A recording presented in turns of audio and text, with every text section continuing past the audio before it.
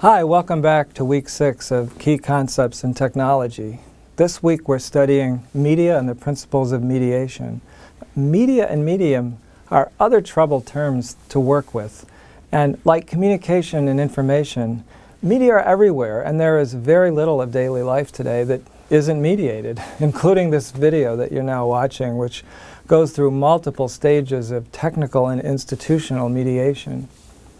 Now, like with communications and information, we have disciplines and professions that study media as technologies and industries throughout history. And in our present configuration, you know, print media and publishing, broadcast media, news media, entertainment media, digital media, and the convergences of media industries on the digital platform. And these professions are mediated through institutions and their media of authority and authorization, like journals, books, university degrees. Some of you may have had courses in these fields of study. Again, we're not going to cover what a media or communication studies program does, but we're going to work through our essential questions to help uncover the key concepts behind our media technologies and investigate the larger question of mediation and how specific media technologies mediate pre-existing social functions in a larger system. So here's our big question. What do media mediate other than what we call content? And where does the power, agency, or effects we attribute to media technologies come from? Now this takes us back to the starting point of systems thinking and uncovering the relations that aren't visible in the technical properties of media, but make everything we can see work the way it does. Uh, just one example here first to show where this Copernican reorientation, as I've been calling it, takes us. Now think about everything required for the internet to work in the way that we experience it. You launch an app and trigger a cascade of software routines and network calls that report back to your device. Everything going on with the internet is a great paradigm case for, as we've seen, orchestrated combinatorial complexity. But the technologies are not autonomous. And they've come together only through a vast cooperating network of institutions and industry agreements, standards, law, government policy. Every data packet we send wirelessly depends on a history of standards and policy about radio frequencies and telecom infrastructure that we can't see but has to be in place for any of that to function the way we perceive it to. Of course, we can't study any of the details of this complex system, but as soon as you take the lid off any of our black boxes, like a smartphone or a PC, you find that all components are interfaces to this whole system of dependencies without which we wouldn't be able to use the device in front of us and get the responses that we do from the app. Your device mediates far more than the content on your display, which is only a tip on the proverbial iceberg. So we have some additional myth busting to do. So think about what our web of metaphors and terms commit us to. Terms like medium, content, channel, interface. What do these terms mean?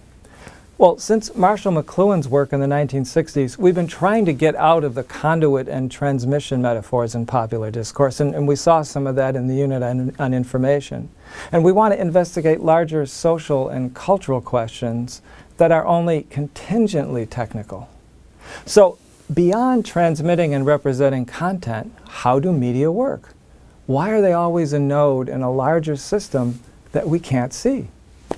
Well, most studies of media focus on the technologies and are mainly blind to all the essential social and cultural forces that form a system of co-mediation, as some scholars call it. Let, us look at a major example.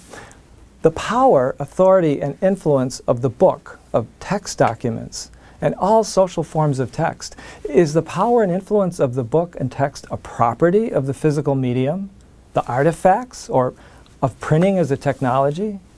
Well, there's a good argument that the affordances of the codex book, which was invented in antiquity, and the human scale of artifacts, of printed objects, support literate ways of thinking, cultural memory, national language, identities, development of learning, and abstract thought, all dominant values in our society.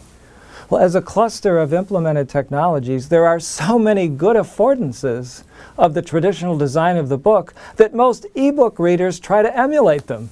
In form factor, right, it's portable, you you know, you can hold it in your hand and carry it around. And the experience of the page and layout and typography, because the dimensions fit human eye movement and the way that we can take in information in a particular format, right? So what's amazing is that so many ebook readers look more like the classical idea of a book than many print books do today. So books and texts aren't going away and they are far from obsolete. I mean, why does Amazon sell more ebooks than paper books? Why do we have more text messages circulating around the world today than ever before? What's going on with web pages and social media posts? With digital remediation, text content is stronger than ever because the digital formats very successfully mediate the book and text functions, which are so deeply embedded in our culture, and they mediate the real sources of power and authority. Well, what are some of them? Well, social class requirements for literacy, education, government, law, religion, personal communication, consumer culture for book genres. Well, earlier technology gurus told us that someday books, texts, physical media are going to be obsolete. Well, they were looking at the wrong things.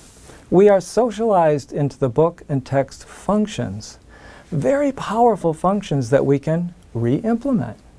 Well, of course, I'm a digital geek too, and what I love about getting inside this question is finding out how the digital transition we're in now reveals another secret hiding in plain sight.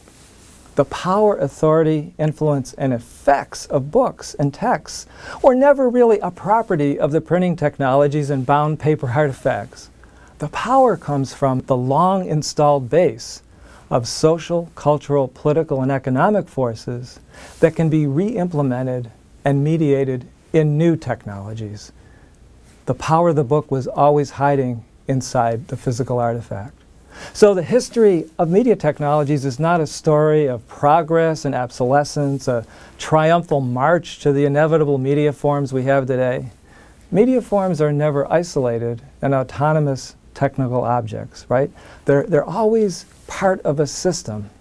And today, digital and traditional media coexist in a continually reconfiguring, revalorizing, and remediating system. Well, we've just scratched the surface on what deeper thinking and research on media and mediation can open up. There are many other relevant issues that we can't cover here, but I hope that this lesson, as part of the building blocks of the course, will help you develop your own method of inquiry for media technologies and take you further in your learning and knowledge building.